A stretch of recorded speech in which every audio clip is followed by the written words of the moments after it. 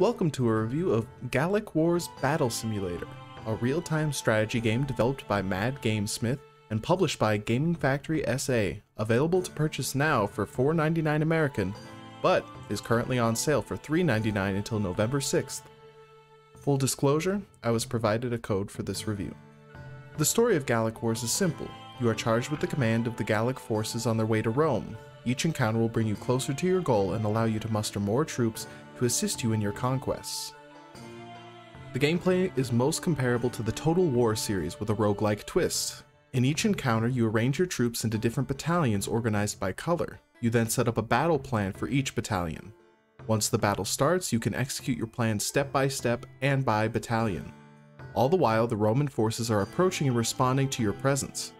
Once a battle starts, most things are out of your hands except for executing these plans or using special instant items like fireballs. Similar items are used in the planning phase like traps and barricades to limit enemy movement. From the map screen, you choose your next encounter.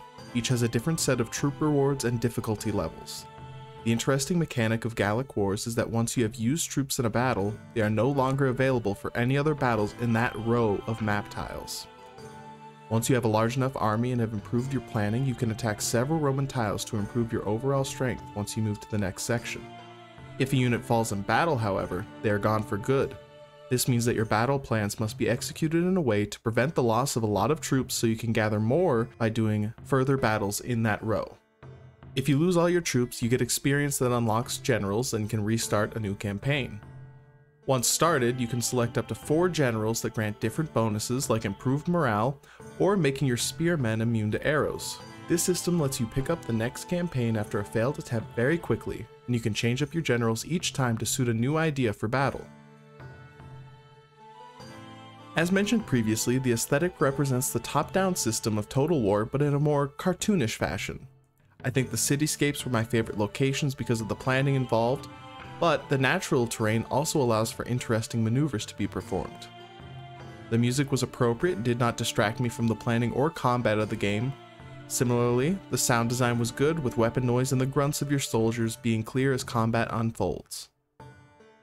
My first mini gripe is that when you lose a campaign, there's no UI option to return to the menu, just restart campaign.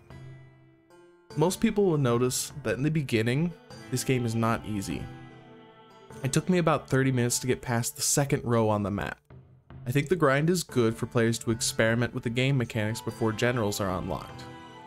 Once they are unlocked, I personally felt a lot better and was able to make it to Rome, but the difficulty curve is noticeable and difficult. My best suggestion for Gallic Wars would be campaign customization. Being able to take control of the difficulty for yourself would open up this game drastically. For example, choosing your starting troops, increasing the general cap, increasing how many Roman troops are present in the beginning, and giving the Roman troops special bonuses as well. I'd love to set up a campaign where I have 100 troops right at the beginning and can wage some epic battles early on. Other than that, I think the game has a good core loop for anyone looking for a quick RTS experience.